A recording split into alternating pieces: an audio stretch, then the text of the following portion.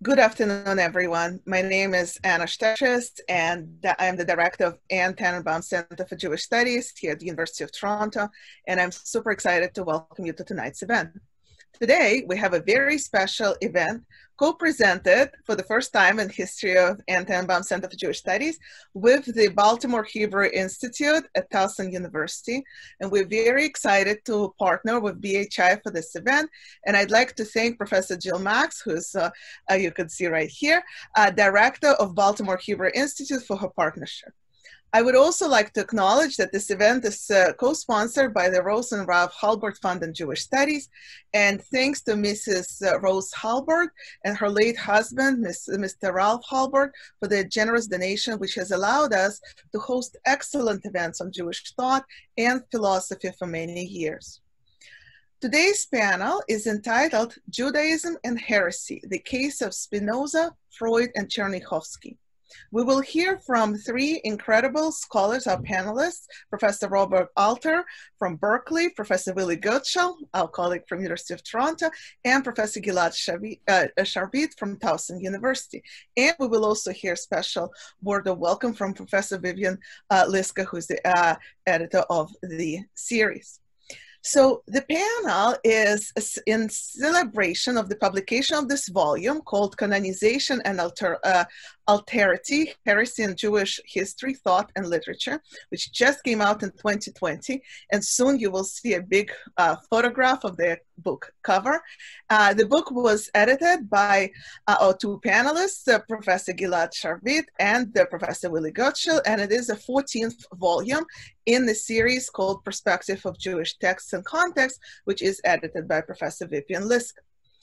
Now, I feel like it's a personal gathering of friends here. Uh, Professor Liska was just here in Toronto short five years ago, and we enjoyed the, this incredible talk and also an opportunity to be in that one room together and discuss uh, uh, exciting developments in Jewish studies. Uh, Professor Robert Alter was also here not so long ago, two years ago, and uh, we enjoyed uh, listening about his new project on uh, Hebrew Bible.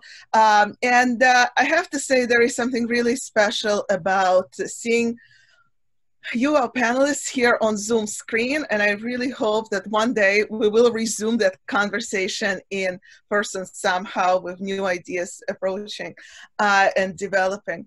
I also want to say that it is a special pleasure for me to support this book, uh, co-edited by Willi Goetschel, who has been my colleague here at the University of Toronto for the past 20 years, and also my office neighbor, yeah, I know Willi, 20 years, uh, and my office neighbor for the first 10 years of it. And I have always been in awe of his scholarship in Jewish philosophy and his works on Spinoza, Goldschmidt, Goldschmidt Heine, and German Jewish literature and philosophy. Really, congratulations on this book and that you and Gilad. And now I'm, uh, uh, I will pass on the microphone to Professor Benjamin Fischer, who will moderate this event. So before I do, let me just introduce the prof Professor Fischer to you. He has earned his uh, PhD from the University of Pennsylvania and his BA from the University of Toronto. So uh, Professor Fischer, welcome back, so to say. Um, he joined the history department of Towson University in 2011 and he has been a visiting fellow at Oxford and Harvard. Uh, he is a specialist in social, intellectual, and cultural history of Jewish society in medieval and early modern Europe. He is also the author of uh, Amsterdam's People of the Book, Jewish Society and the Turn to Scripture in the 17th Century, which came out, just also came out from Hebrew Union College Press uh, in 2020. So, Professor Fischer, take it away. Thank you very much, Anna, for your opening remarks um, for introducing today's panel. Um, it is now my pleasure and honor to introduce our three distinguished speakers who will be having a conversation about Judaism and heresy in the cases of Spinoza, Freud, and Tchernichovsky. Um, we are very honored to have uh, Dr. Robert Alter joining us today from UC Berkeley, uh, Dr. Alter is Emeritus Professor of Hebrew and Comparative Literature at Berkeley and is a member of n- numerous learned societies, including the American Philosophical Society and the Council of Scholars of the Library of Congress. He has been a senior fellow at the National Endowment for the Humanities um, a fellow at the Institute for Advanced Studies in Jerusalem, and an Old Dominion fellow at Princeton University. He has been a Guggenheim Fellow twice.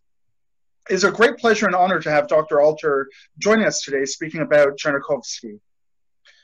Our second distingu very distinguished speaker is Dr. Willi Goetschel, professor of German uh, and philosophy at the University of Toronto.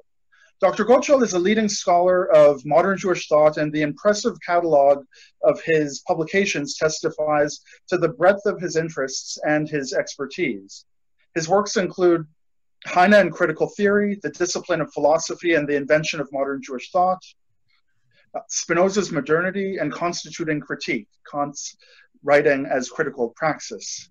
Dr. Goetschel will be speaking about the notion of heresy in Spinoza's writings and the image of Spinoza in modern Jewish thought this afternoon. Our third distinguished speaker this afternoon is Dr. Gilad Sharvit, Assistant Professor of Philosophy and Religious Studies at Towson University um, and my colleague. Dr. Sharvit completed his doctorate at uh, Hebrew University of Jerusalem. Before coming to Towson, um, he held prestigious postdoctoral fellowships at UC Berkeley's Townsend Center for Humanities and the Center for Jewish Studies. Dr. Sharvit is the author of a forthcoming book, Therapeutics and Salvation Freud and Schelling on Freedom.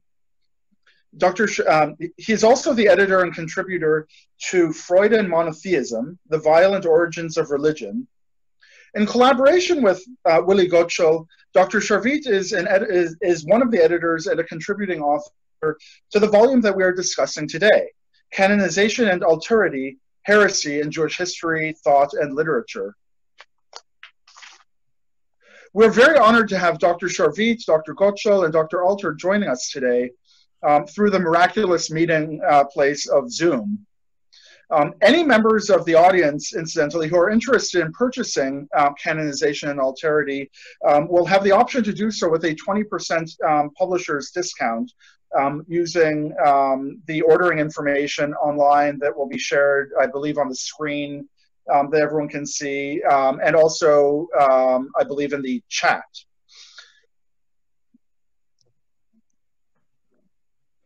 It is now my sincere pleasure to invite uh, Professor Vivian Liska, the editor of the series in which canonization and alterity appears, um, to offer some remarks um, regarding the, the volume and, uh, and the editors. So I turn the microphone over to Dr. Liska. Thank you so much. Actually, I just want to take this opportunity uh, to thank all those who have made this uh, possible. Um, this event for the publication of the volume Canonization and Alterity, Heresy in Jewish History, Thought, and Literature allows me to say thank you uh, to just the people who have uh, contributed to it so much. Ulrike Kraus and Katja Lehming uh, from the staff at De Gruyter. But above all, I want to express my admiration and thanks to Gilad Sharvit and Willi Goetschel for the extraordinary book that is now the 14th uh, volume in the series Perspectives on Jewish Texts and Contexts. They have produced this with so much ingenuity, intellectual drive, and erudition. A lot of work and effort went into gathering so many different voices from such superb scholars so thanks, Willi and Gilad, for bringing this insightful and thought-provoking volume to completion. It is also an opportunity, Gilad, to apologize for my initial doubts that this could be done. Bringing all these diverse forms of heresy together at first seemed to me a risky task in the face of a specialized field as Jewish studies. So it is now a sheer pleasure to see between two covers discussions about heresy and Kafka, Abulafia, Isaac Bashevis Singer, Derrida, Tchernichovsky, Spinoza, uh, and more. And I, on purpose, threw them all together without chronology or order uh, because it really shows that you did it. You and really thank you just so much. And thank you to all the speakers who are here. I'm delighted.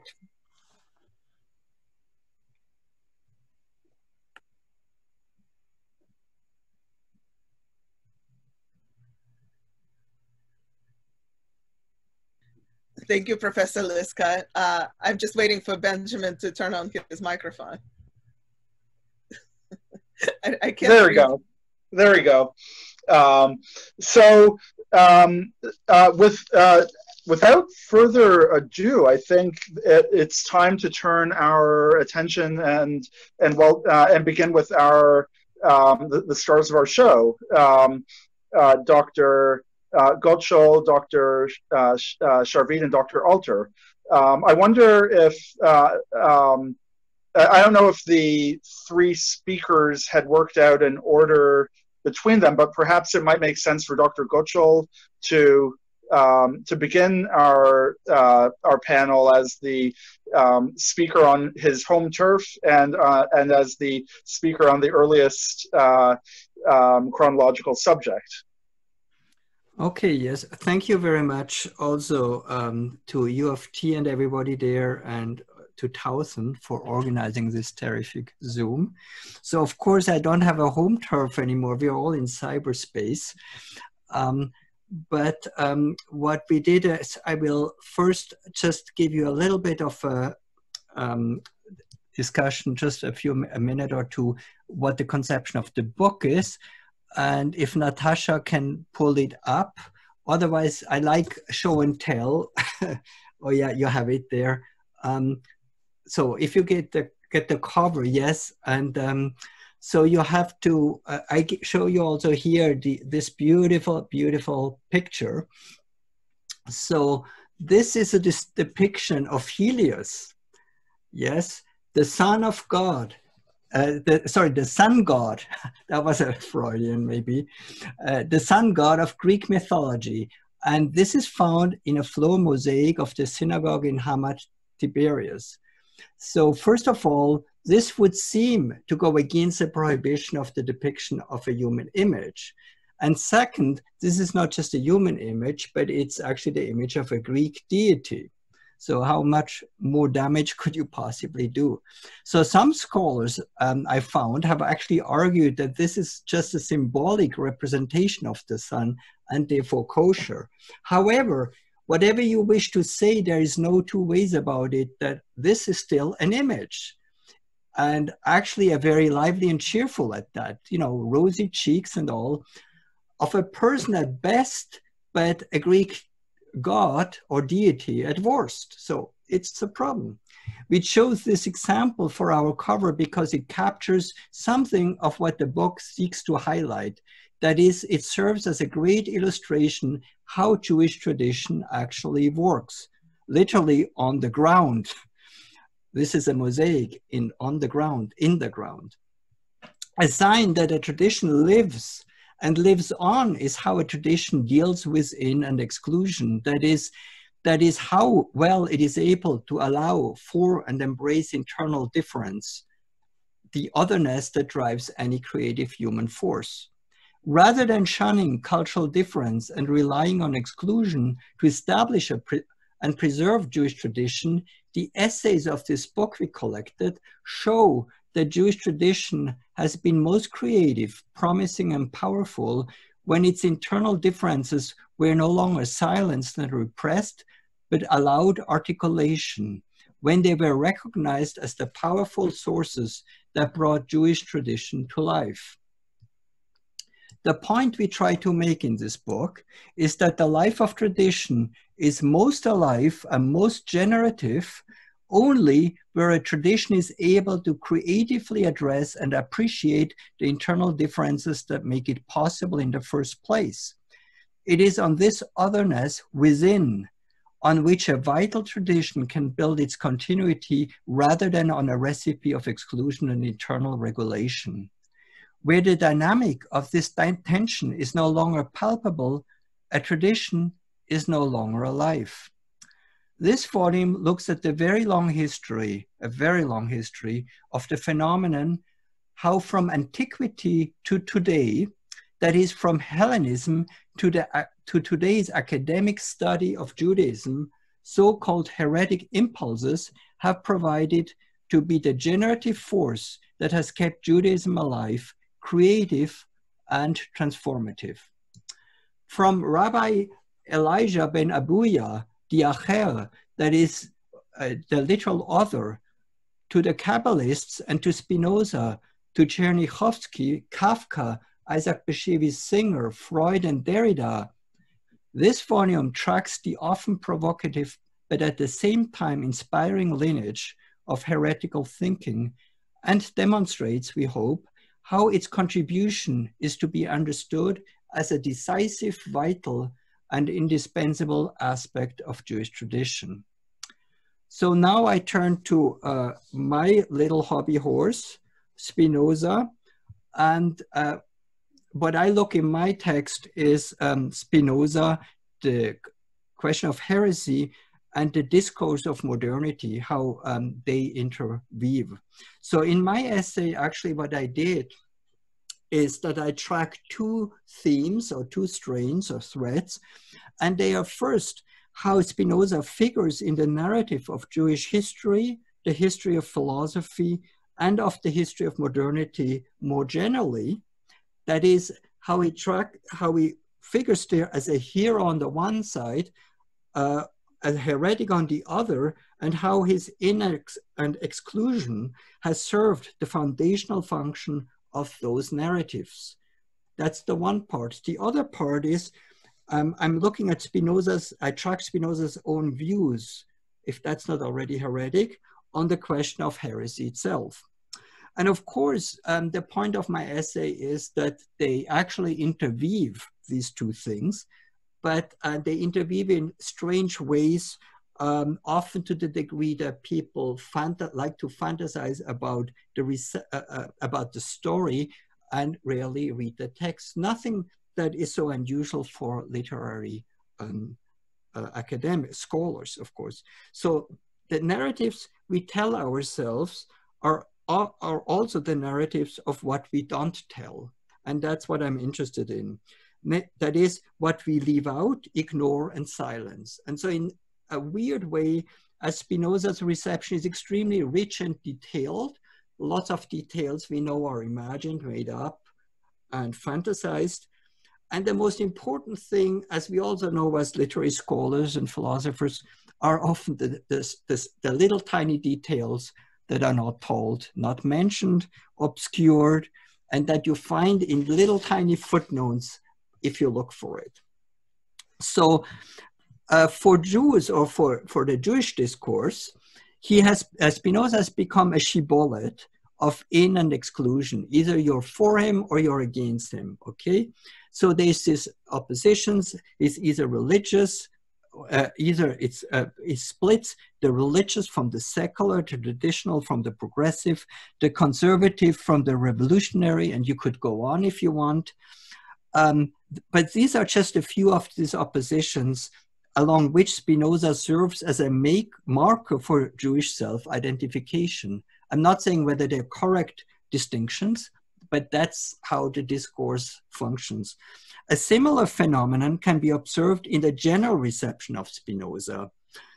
And of course, the two, the Jewish and the non-Jewish reception of Spinoza cannot easily be, they cannot be easily disentangled. More than that, they actually intermingle, they, they, they constitute each other reciprocally.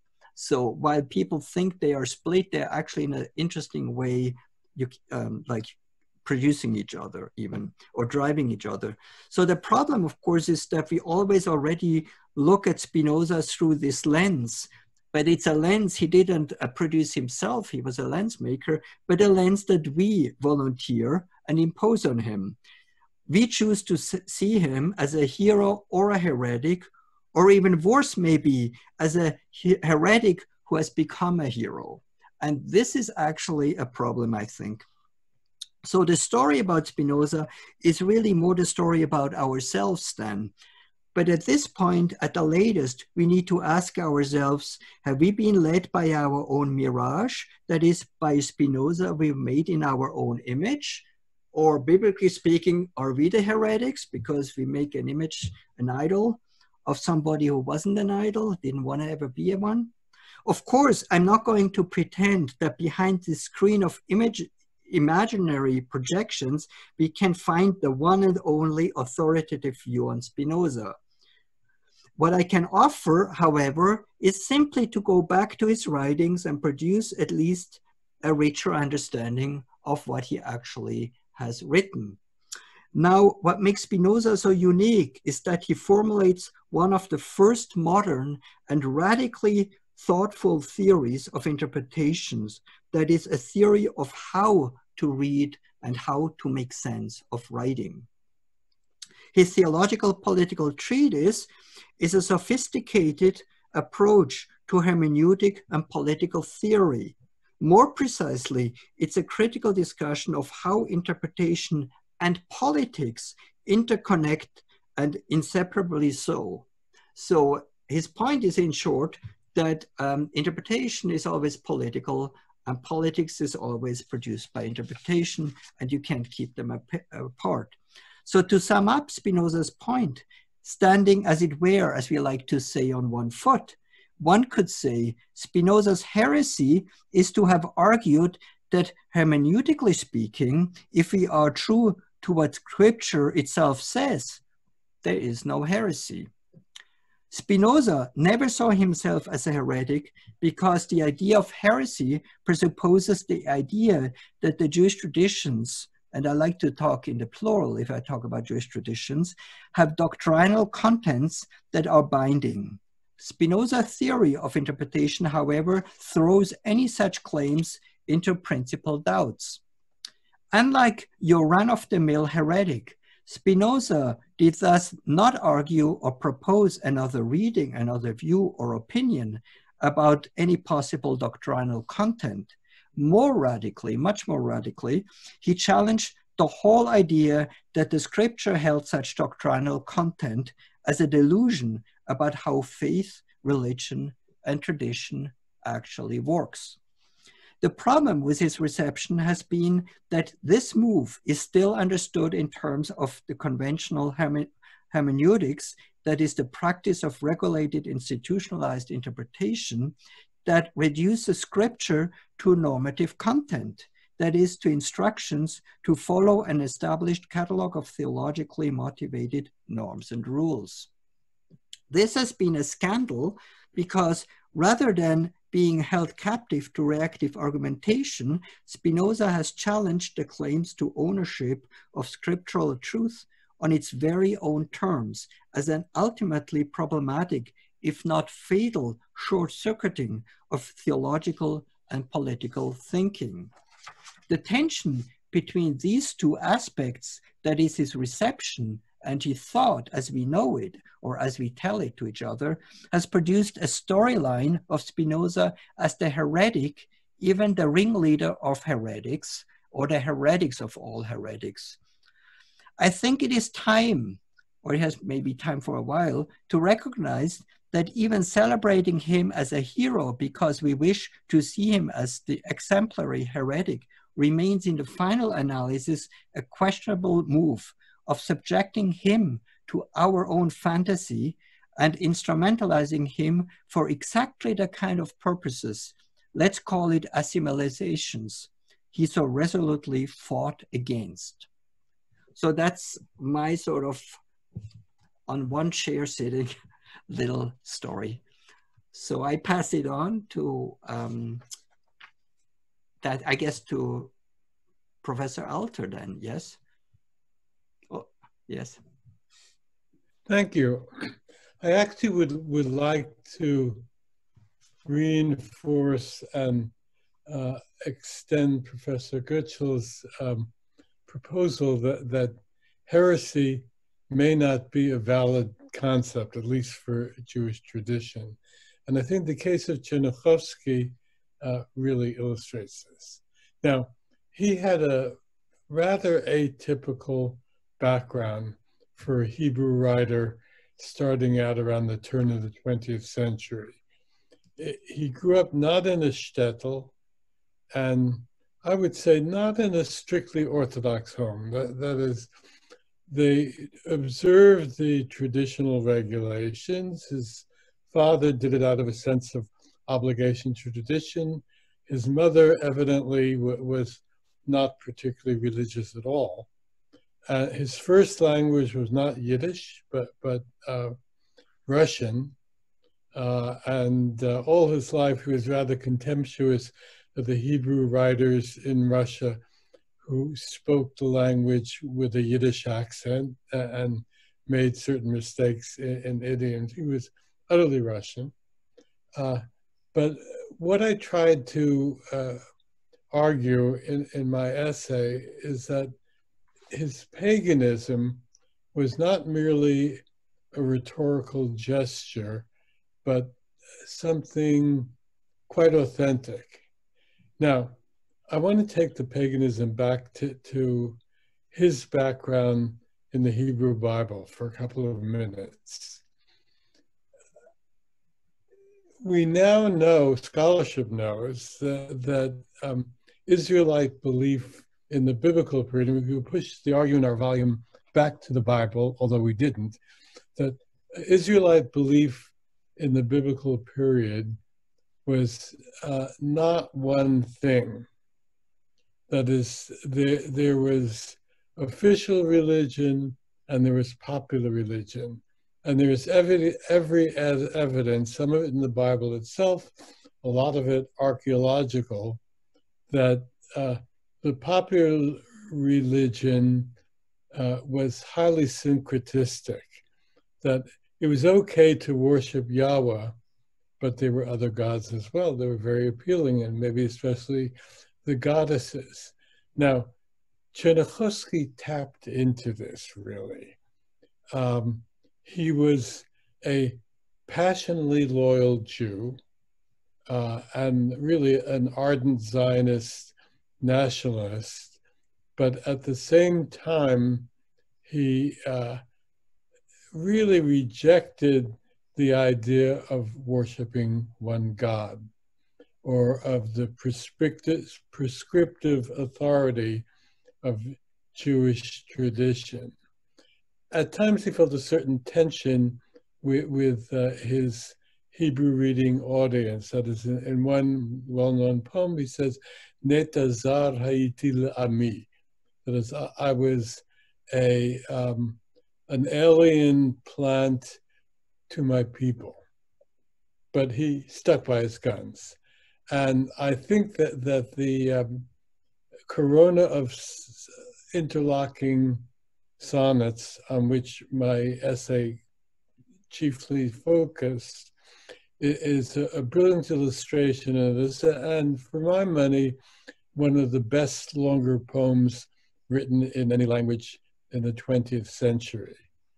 That is, it puts together all kinds of things. The, the, uh, the story of the poet, uh, the value of art in, in the modern world, um, uh, the pantheistic, vitalistic vision of, of reality uh, that, that um, had, and even uh, toward the end, modern science. He, he was a doctor. He was interested in, taxonomies and all kinds of other things. So one of the reasons why uh, these sonnets and a few others that, that wrote are such a powerful uh, expression of a pantheistic worldview is the language. Because he really couldn't do this in another language. He, he tapped into the Hebrew of the Bible, but not just uh, all elements of the Hebrew of the Bible. Mostly it's the poetic, archaic Uh, uh, elements of the Bi uh, biblical Hebrew that he marshals in his poetry. Also, quite notably, there are very, very few biblical allusions. That is, uh, there are memorable biblical phrases in his poetry, but they're not allusions. Now, now this runs counter to the whole direction uh, of Hebrew poetry until I would say the 1970s. Uh, why is this so? Well, Tchernichovsky was not interested in latching on to the Bible, getting a kind of free ride from the Bible, evoking resonances from the Bible, but rather in creating in his Hebrew an alternate reality to the Bible, almost as if you might say theologically or ideologically, the Bible had never e existed. And he can do this by particularly deploying the archaic elements of the Hebrew language that were so important in, in biblical poetry. And by doing this, he takes us back to a whole ancient Near Eastern world, uh, a world where um, a, a, a, young woman uh, seeking e either a lover or a, um, a child, that's not clear which, uh, offers uh, a sacrifice to a love goddess. Uh, it, it's, and he's a, an equal opportunity pantheist also.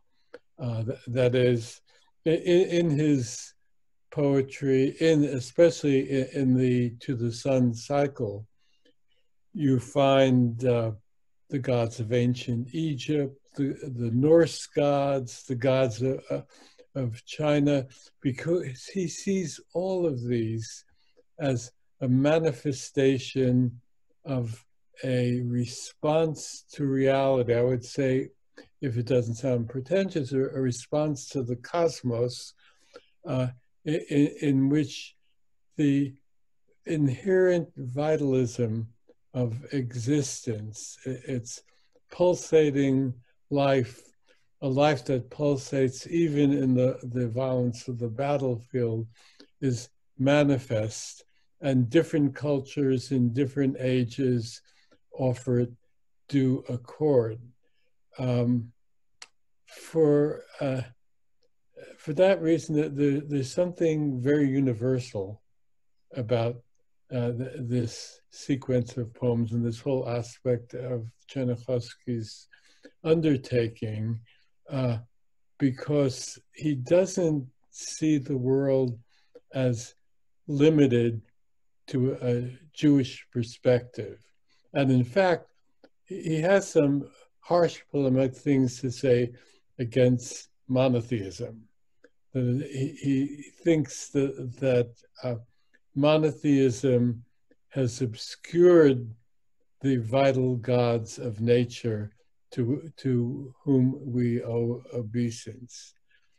And um, I would say that in a strange way, th this uh, very pagan poetry is also very Jewish. And that seems to me the paradoxical greatness of Shaul Tchernichovsky.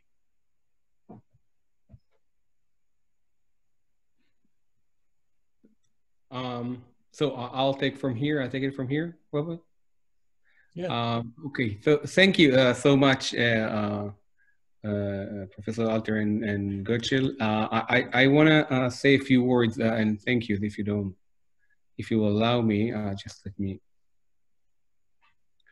So I, I want to first thank Vivian, who supported this project from the very early stages. I remember especially a conversation we had in Berkeley, we just talked about uh, about this conversation. And this was a few years back. And uh, when I pitched her the idea of the book, and she accepted it almost immediately. And as a young postdoc, I was really impressed with this. So thank you, Vivian, for your support.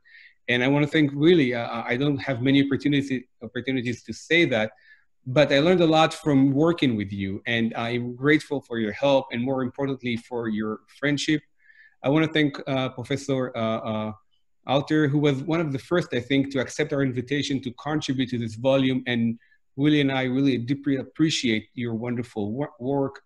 And I want to thank all the other contributors, just to mention them by name. There are Eric Gruen, Adiel Schremer, Shraga Bar-On, Eugene Matanky, Moshe Idel, Ruth uh, Kara Ivanov Kaniel, David uh, Zohuf, Noam Gil, Shaul Magid, and Agata Bielik-Robson, all great minds whose work really changes our understanding of heresy in Jewish history and thought and literature.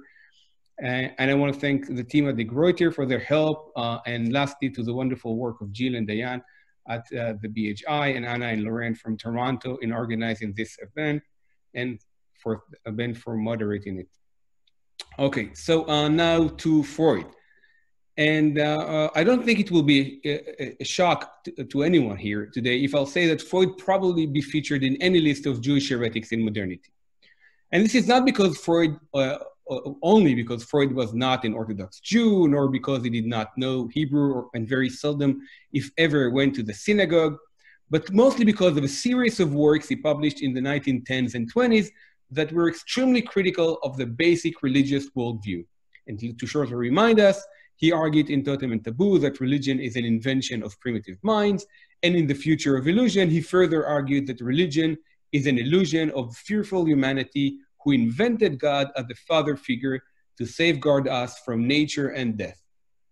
And both books, I think, at least for me personally, are dwarfed compared to Freud's earliest essay on religion from 1908, where he equates between religious ritual and obsessive compulsive behavior. Still, as far as Judaism is concerned, it is only in his last momentous work, Moses and Monotheism, that the heretical worldview of Freud, the godless Jew, as he once called himself, is openly declared. Now, Moses and Monotheism was published in England in 1939 after Freud escaped from the Nazis. And it offers a speculative argument about the origins of the Jewish people. And I think it has a lot to uh, uh, uh, interesting comparison with uh, Tchernichovsky that maybe should be mentioned. So Freud says that inspired, Freud's book is inspired by the set of important affinities uh, between Judaism and a brief monotheistic episode uh, in, the, in Egyptian history during the reign of Akhenaton. So the, uh, Freud theorized that while official historiographical accounts insist that this short monotheistic episode ended with the death of Akhenaten, the Egyptian religion was in fact born again in Judaism. Freud argues that one of the crown Egyptian princes named Moses, who was close to the dead pharaoh, decided to preserve the Egyptian religion by introducing it to a slave nation that happened to live in Egypt at the time, which are the Israelites. So the Israelites were intended to save the dying Egyptian religion, the one that the Egyptians themselves rejected. So very plainly, Moses was the Egyptian prince according to Freud, and Judaism is actually an Egyptian invention. However, this is not the end. According to Freud, Moses' great religious experiment failed. The Israelite slave, accustomed to the sensual gratification of their original polytheistic religion, could not have coped with the restriction and prohibition imposed by the Egyptian monotheism, such as the prohibition to make pictures and circumcision. And the Savad Semites therefore took fate into their own hand and rid themselves of their tyrant, writes Freud. So very simply, the Jews killed Moses. Now, naturally, Freud's Moses book created quite a turmoil. Freud's claim about Moses' secret Egyptian identity and his murder in the desert by the Israelites troubled many who appealed to Freud and asked him to refrain from publishing his book in such a sensitive time for the Jewish people. Remember, 1939. To many, it seems that as if Freud uh, echoed anti-Semitic propaganda for the Jews we are, according to Freud, the descendant of despicable slaves, essentially a nation of murderers.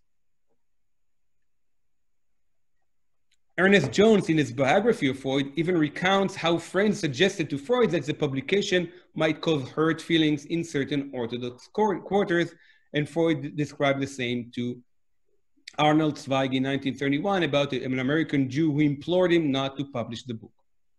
So why did Freud did publish it, especially since he was quite a, an experienced public figure? And he was very well aware of that. He writes in the beginning of the book, to deprive a people of the men whom they take pride in the great in, in as the greatest of their sons is not a thing to be gladly, carelessly, or carelessly undertaken least of all by someone who is himself one of them.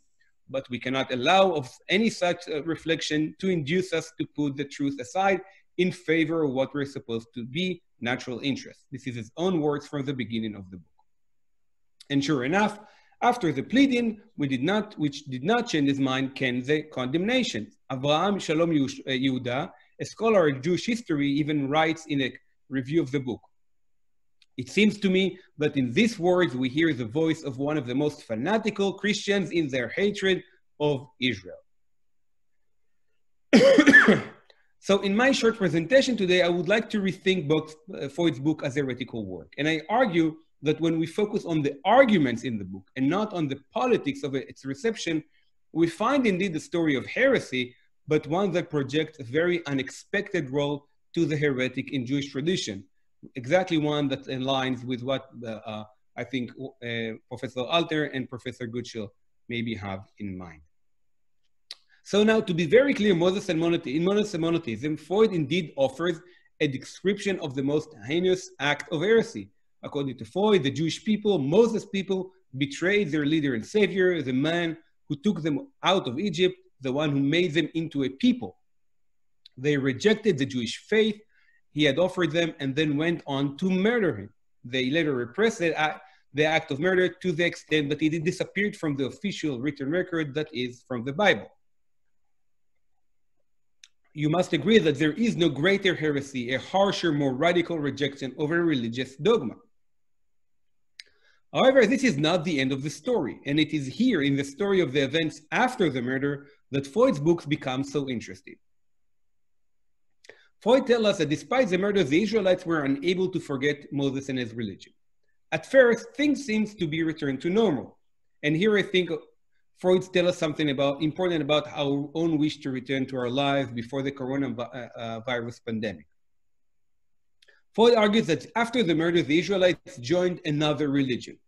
They allied with the second Moses in the desert, a priest from a Midian religion. So the first murdered Moses was replaced by a Midian priest of a local god also named Moses. They chose to forget the monotheistic religion by means of another Moses, a prophet of a different God, who allowed them to enjoy the very same things monotheism forbade. This Jewish apostasy, however, had unexpected results. After a few generations under the rule of the Midianite priest, the first religion, the Egyptian monotheism, the Jewish monotheism, returned and got hold of the Jewish social reality and became the official religion of the Israelites. Now, and only now, the Jewish people. And the reason for this return is the most interesting thing about Freud's story of heresy. Most importantly, Freud argues that the murder of Moses was traumatic for the Israelites. Now, I don't have time to go into more detail, but Freud borrowed from his previous book on religion, Totem and Taboo, to argue that while this murder seems to have left no traces, as an act of betrayal or an act of heresy, the murder in fact created a trauma, one that was invisible at first. And this insight really changes the picture because when Freud thinks of this murder of Moses, he does so with the theory of trauma in mind. And he argues that, like the trauma at the level of the individual, this collective trauma of the Israelite was also repressed. The trauma of the murder of the Jewish heresy did not disappear as it may have seemed for a while, but was rather repressed and hidden from conscious social reality. Think of someone, of someone who suffers from a sexual drama as a child and successfully represses that trauma. However, Freud continues that like in an individual traumas that return after a few years, so did the trauma of the murder. After a few generations under the Midianite Moses, the trauma resurfaced. And like in the individual, in returning, this trauma was more powerful than ever. So to continue the example, think of someone who engages with harmful relationship in adulthood because of sexual drama that was supposedly repressed. So the trauma got hold of the Israelites. It forced them to return to and accept the principles they had previously so fiercely renounced. The Israelite who categorically denied the religion of Moses now embraced the same religion who had a much greater psychological and emotional force. Freud writes that the Israelites were exalted, this is his words, and proud to be Moses' chosen people. So, what are the implications of this theory to our understanding of heresy? Think of that. In Freud's story of Jewish history, the traumatic experience of the murder upheld the conscious intention of the heretical Israelites. Heresy did not abrogate the validity or meaning of Moses' religion. On the contrary, it created the necessary psychic condition for the complete domination of Judaism on the Israelite slaves. The Jewish religion became so powerful only thanks to the betrayal of the Israelites. In an early letter to May, eh, eh, eh, from May 1935 to, his, to Lou uh, Andreas-Salomé, he writes this much, and I'm quoting, religion owes their the compulsive power to the return of the repressed, to the return of trauma. They are reawakened memories of very ancient, forgotten, highly emotional episode of human history. So in Moses and Monotheism, Freud portrays the dialectical nature of heresy. For Freud, heresy instituted religious reality. Someone needs to refuse to, violent, to violently transgress and oppose hegemony. A murder, real or imaginary, must be committed. Shame and guilt must overflow so that religion will secure us, sorry, will securely hold us from within and force us to obey. Heresy initiates for Freud the transition from formal external systems of religious norms to internal psychical domination. Up to the moment of his murder, Moses coerced the Israelites to obey. After the heretic act, they happily obeyed. Initially, the monotheistic religion was but a set of laws that would have disappeared if Moses had simply died. But because of a heresy, the monotheistic religion came to dominate the Israelites for eternity. Now, think of this message of Freud, who just escaped the Nazis, a message told in the 1930s to the Jewish public, many of them assimilated, many quite distant from any relation to Judaism, but all still so fearful. I propose that thanks to his book, Freud, The Godless Jew, defended his religion after betraying it, after his entire generation betrayed it. He showed that he and others who rejected Jewish tradition and replaced it with German secular society never truly compromised it. I'm sorry, but rather gave it new life. It is as if Freud, facing the most difficult hour of Jewish history, proudly admitted his and his generation's heresy. However, because of his model of heresy, Freud could have also claimed that this betrayal maybe helped fortify Judaism. Freud had to tell his story this horrific story of the murder of Moses in the desert, precisely as those troubled times, facing the rise of anti Semitism and the danger of Nazi occupation, for it was the best defense he could have invented for himself, for the Jews across Europe, and for Judaism. We have sinned, he would tell them, but because of our heresy, Judaism will survive.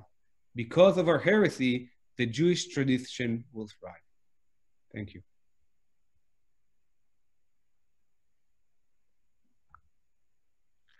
Thank you very much, Gilad and um, Dr. Alter and Dr. Goetschel um, for these wonderful and um, stimulating presentations. Um, uh, we now have um, some time for our three present presenters to um, have a bit of a, a, conversation, as it were, about the subject of Judaism and heresy. And perhaps this could be framed as um, a chance to think about the relationship between Judaism and heresy from the perspective of um, the completed work, canonization and alterity, um, and um, the question of whether the you know, from the perspective of this completed book, there are new paths of research or questions that have um, occurred to you that would be fruitful avenues for your efforts in in this area. Um, or we can take the conversation in, in any other um, of the directions that uh, that may occur to you, of course.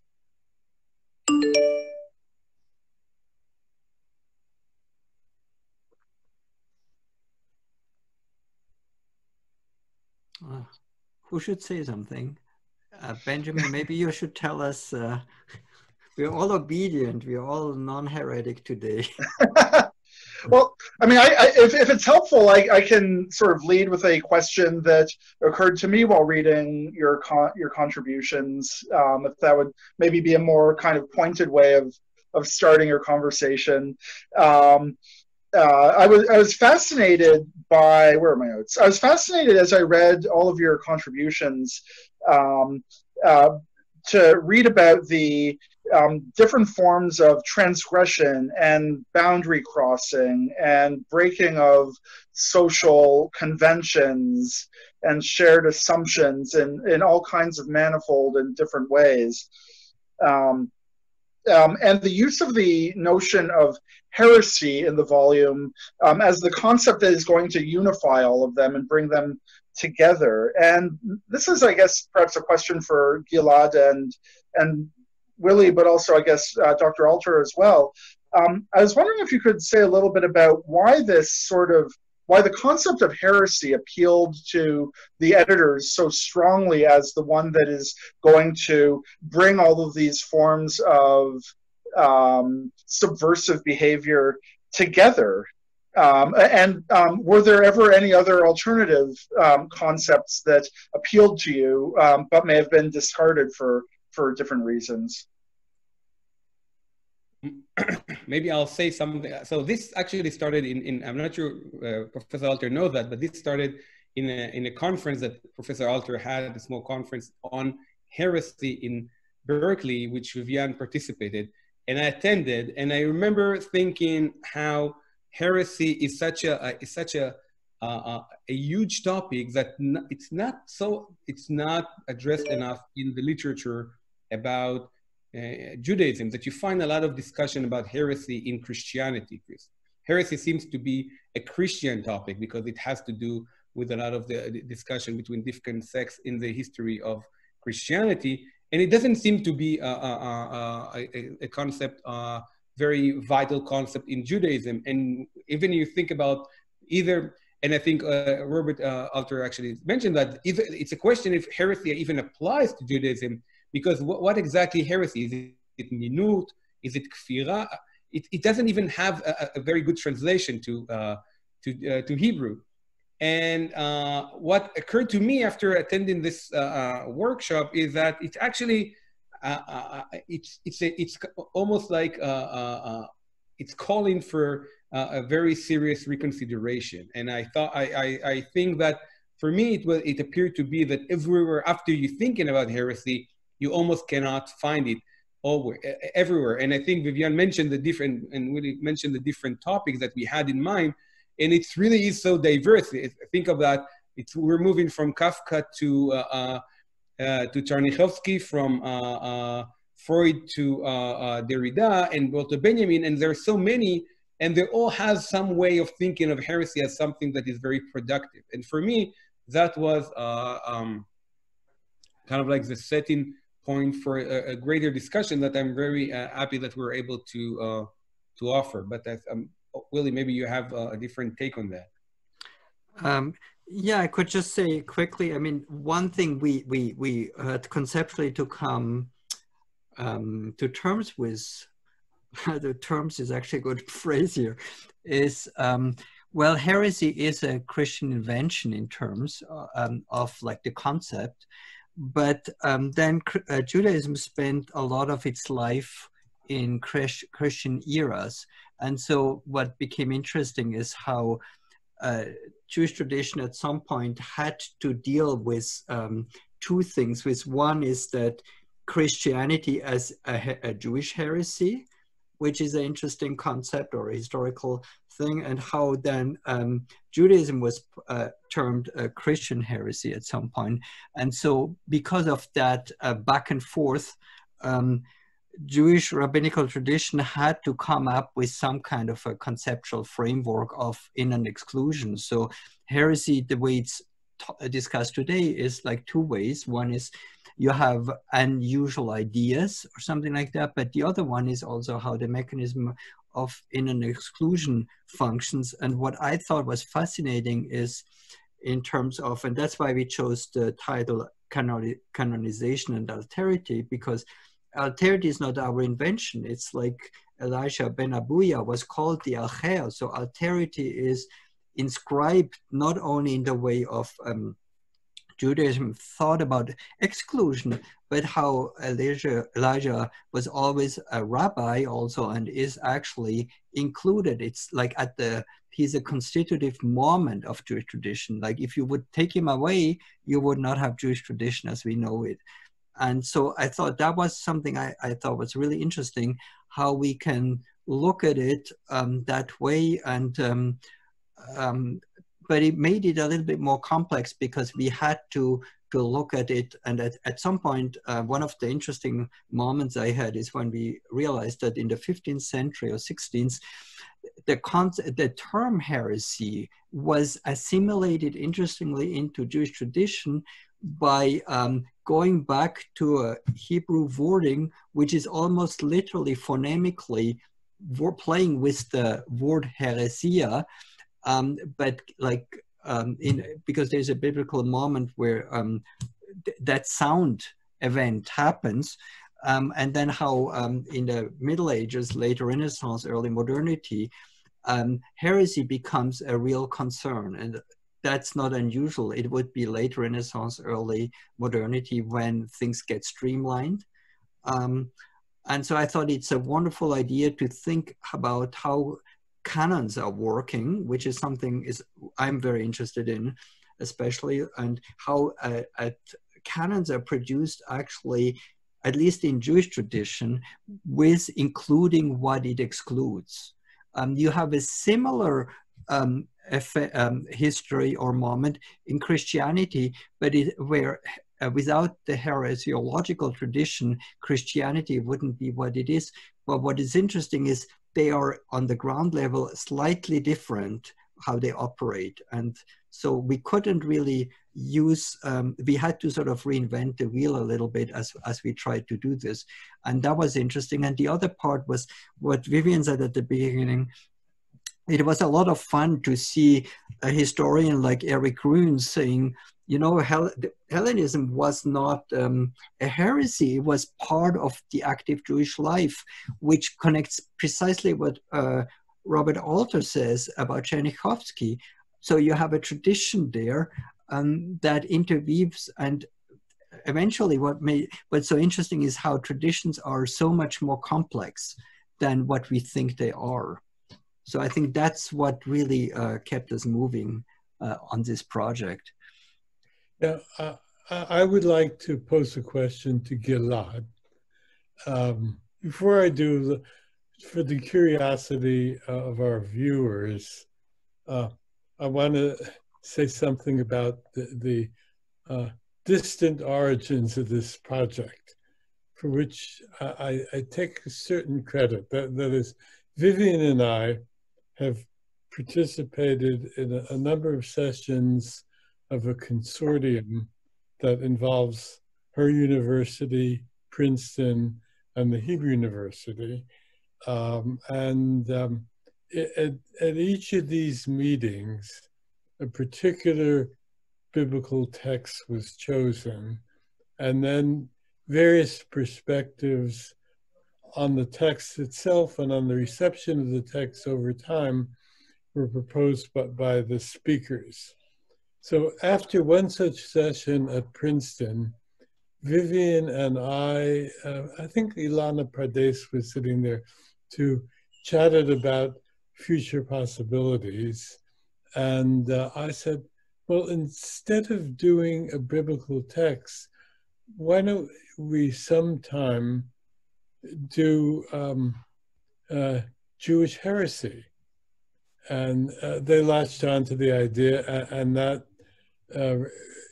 resulted in, uh, the, the, meeting of the consortium in Berkeley, where um, uh, Gilad was present. So, so much for the, the background. Now, as Gilad spoke about Freud and gave a very cogent and vivid uh, account of Freud's view of um, Moses and heresy, uh, a thought occurred to me, and I, I, I wonder, Gilad, if you want to comment on this. It seems to me that what Freud did and what uh, did are rather different in kind. That is, Freud produced a kind of um, historical fiction uh, to bolster his theories uh, full of um, uh, fantastic ideas that have no historical evidence and that certainly over all these decades have not been accepted by the Guild of Biblical Scholars. And I don't quite consider myself part of that guild. I'm a kind of interloper. Um, on the other hand, uh, linked up with uh, something actually in the air in the experience of ancient Israel and hinted at or even spelled out in the prophets, for example, uh, about the pervasiveness of other beliefs in, in, ancient Israel. So, Gilad, I'm curious if you want to make anything out of that contrast. Yeah, I, I thought, I, I, thank you. I appreciate the question. I think that Freud would disagree with you. I think that one thing that is fascinating about Freud is that he hold held on on his theory of the totem and, and his theory of Moses and monotheism and regarded that as the truth. The only thing that he thinks is that we are unable to understand this truth because we are captured with what's written and what's in the stones. And he says this is a this is a in a psychological term this is a conscience level of the history. We're used to live in, in a history that has some concrete manifestations, but they are, he says, something that we are consciously making. But he's saying the fact of the murder of the Moses is something that I can decipher because I can think psychoanalytically about uh, um, about the past, and I can detect from the stories about the the same way I can detect from stories of a person something that happened that he's unaware of and something that he has repressed, and because of that, I can say something that is uh, fundamentally different from the story that he's given me, I can do the same to history. And there is such a huge discussion about that because he's really saying that history as a discipline is a very uh, uh, misguided, not misguided, but certainly something, a partial way to understand what happened in history. And the fact that he had so many people going after him and, and arguing against him, especially with the Totem uh, book, and saying to him, that there are no evidence. He never uh, uh, returned. He never kind of like caved in, and he insisted on that. He even said something that is really fascinating. He said, "There is no an objective truth that will go and change and, and, and make me change my mind because I'm not talking an objective truth. I'm talking about psychological truth. And in a sense, for Freud, and I think this is maybe the most fascinating aspect, the question if Moses was killed in the desert or not itself as an historical fact is not as important. He would say, even if you didn't kill Moses, like literally killing the person, but you have this fantasy of killing Moses, that will be enough to create a, a, huge uh, social and, and religious uh, implications because it's the same way that human beings have a desire and, and, and wish and unconscious wishes that they're never actually made uh, uh, um, made explicit in reality, but still has such a powerful force on us. And I think that's so. In a sense, he's really have a very different understanding of what is truth and what is false, and how you you need to mitigate that. And and in that sense. Uh, uh, uh, uh I think he's maybe even closer to more, more closer to Tchernichovsky than we appreciate that in the sense of this poetic way of thinking of history that really is diverting from the objectiveness of, or the objectivity that we're looking for in historical uh, uh, sciences. Yeah. Well, I'd like to respond, uh, and this is something that's been said about Freud by quite a few people, is that he set up a game in which he could never lose.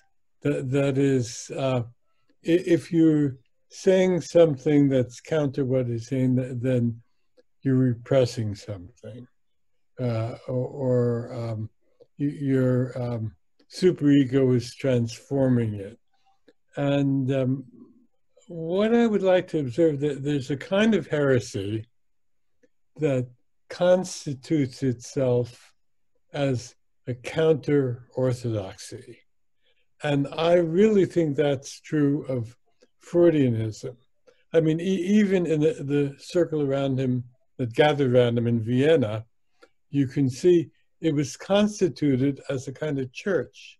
and if you diverged, you were uh, thrown out. And it's actually an aspect of Freud that I am personally uncomfortable with. That's, that's a great comment. Uh, I would also say, say that you're absolutely uh, correct. Um, yeah, there is even, a, a, a, there was a, just to shortly remark, there was an exhibition in the Israeli Museum of the rings that Freud would give to uh, like rings that are made of coins of of uh, of pagan myth, like of, of pagan gods. And these rings will he will give he gave something like 20 of them, and they signified the fact that someone is part of his group. So if you want like to think right. about heresy, that's a beautiful example. There is no heresy greater than giving someone a ring of a, of a God, and, and, and he gave them according to how he perceived them. And if you're just moving just a bit from what you were given as a God, as to be part of the group, you were expelled immediately. So I, I agree with you. That's a good point. In the interests of keeping the agenda going and making sure we get to all the different um, moving parts of the event, um, we have an upcoming um, Q&A with the audience, but I first wanted to offer um, uh, Jill Max an opportunity to make a brief announcement on behalf of the Baltimore Hebrew Institute. Thank you, Ben. Um, good evening, everyone. I am the director of Baltimore Hebrew Institute at Towson University. I'd first really like to thank uh, Dr. Anna Shternshis and our partners at the Anne Tanenbaum Center at the University of Toronto uh, for this one, helping us to put on this wonderful event. And I also really want to thank Diane Siegel and Lauren Fedewa for all of their behind the scenes work on making these Zoom things possible. And of course, to our wonderful panelists, Professor Robert Alter, Professor Willi Goetschel, and Professor Gilad Sharvit, and, and our wonderful moderator, Professor Ben Fischer, uh, this year, because we are all in this Zoom world, we are focusing on our faculty and our faculty have been very productive over the last year and we're really excited to bring their work out to the world. So we just want to thank everyone for being here